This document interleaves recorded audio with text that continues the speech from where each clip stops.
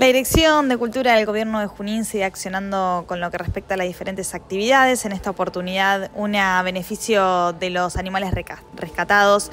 Eh, Agustina Barbosa, bueno, titular de dicha área, comentanos un poco lo que respecta eh, esta propuesta. Bueno, es una propuesta que nace de eh, trabajo en conjunto con los empleados del histórico, en este caso con Belén Rodríguez. La idea en un principio era hacer yoga en el patio del museo, un museo que es muy bonito, que tiene su público y que venimos hace mucho tiempo abriendo las puertas de todos los museos para que diferentes públicos lo puedan conocer.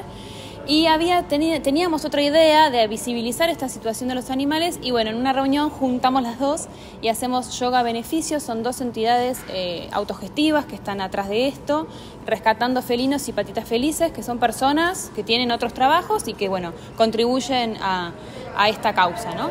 La idea es hacer a beneficio, eh, es yoga gratuito, pero que traigan un alimento eh, para estos gatitos rescatados. Tenemos algunas marcas que sugerimos por una cuestión de, que no porque sean callejeros merecen menos que, que otros.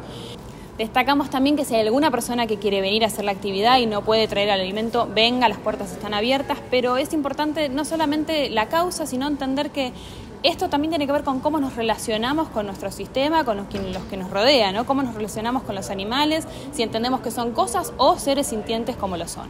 Entonces unimos estas dos actividades, la verdad que la repercusión que hasta ahora hemos tenido ha sido muy favorable y las esperamos, esto es el 20 de enero a las 19 horas en Newbery, Quintana. Eh, va a haber música en vivo, hay un artista que le interesó la causa y quiso venir a hacer música en vivo, así que muy contentos con esto de unir eh, ideas, unir personas para una causa noble.